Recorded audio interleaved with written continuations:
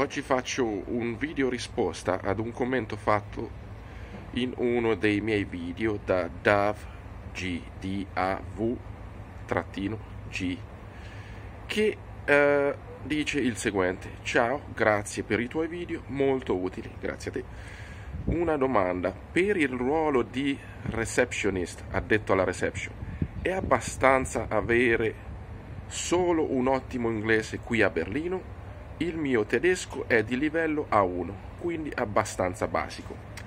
Dunque, prima di rispondere alla domanda è bene aprire una parentesi e parlare del tema uh, livello di tedesco ed inglese, quale livello avere se ci si vuole trasferire in Germania. E questo dipende da molti fattori. Volete trasferirvi in una grande città, il tipo di lavoro che volete fare. Dunque, se decidete di trasferirvi in città come Berlino, Francoforte, un ottimo livello di inglese ed in generale un basico livello di tedesco vi permetterà comunque sia di vivere bene e di lavorare perché in queste due I mean, uh, in queste metropoli perché includiamo anche Monaco, Hamburgo, insomma tutte le grandi metropoli, c'è una grande comunità di stranieri che solitamente tutti parlano inglese. Poi chiaramente dipende dal lavoro che volete fare. In questo caso uh, rispondo a Dav G.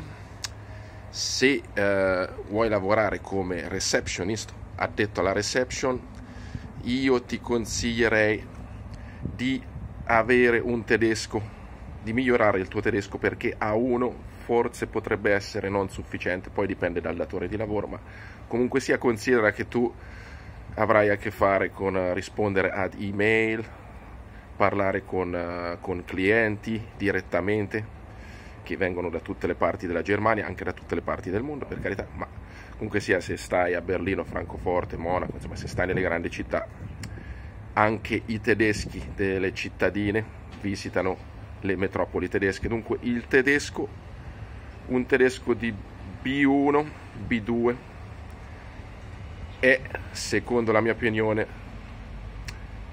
è da avere, ok? Dunque un A1 potrebbe essere un po' poco. Chiaramente devi avere un il livello di inglese ottimo anche poi, se vuoi lavorare per esempio in gastronomia, come cameriere, come barista, barman, allora forse un A1 potrebbe bastarti, anche se ancora un po' poco, però in questo caso basta che vi imparate le, le, solite frasi che si usano per un cameriere, cosa volete ordinare, volete pagare eh, separati o insieme e via dicendo. Dunque se vi imparate uh, certe tipologie di frasi ve la potete cavare nel campo della gastronomia, ma se vuoi fare il receptionist forse ti serve, come ho detto, un livello più alto di tedesco. Considerate che qui comunque sia in Germania ci sono le Volkshochschule che costano molto poco per imparare il tedesco, so che non è una lingua molto facile da imparare, dunque richiederà tempo, però per esempio potreste lavorare uh, nel campo della gastronomia all'inizio, migliorate il vostro tedesco di modo che dopo avrete più porte aperte. Se volete lavorare qui nelle grandi città, soprattutto Berlino e Francoforte, ci sono, qui a Berlino ci sono molte start-up dove parlano solo inglese, anche direi anche uh, bar, pubs, ok? Sono andato molte volte in pubs o bar, o bar qui a Berlino e uh, ho salutato in tedesco, mi hanno risposto subito in inglese per farti capire insomma a che livelli siamo qui con la lingua, ok?